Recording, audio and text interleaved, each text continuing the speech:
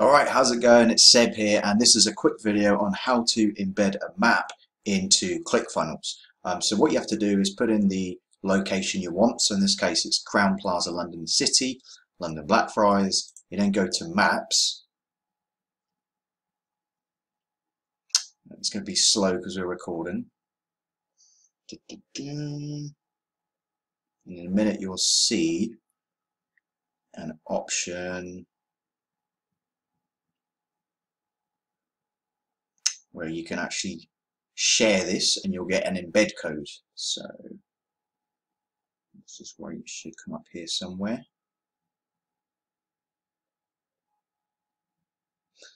Eventually.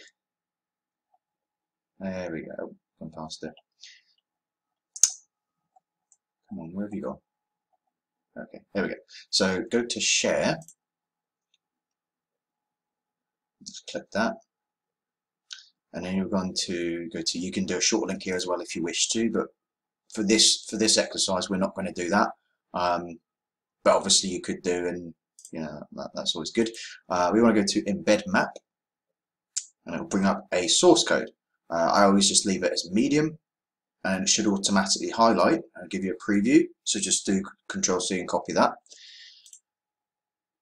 And then we go back to click ClickFunnels page uh, don't know if there's already one here.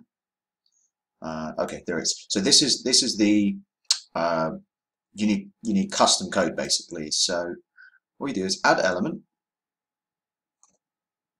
and I'll just type in custom.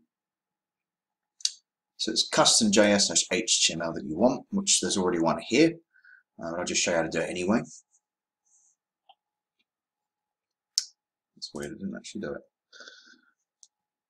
Okay.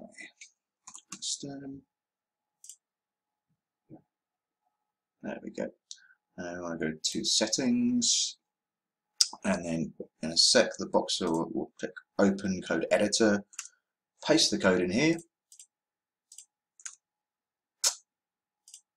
And click save. And then that's all you need to do to embed the map.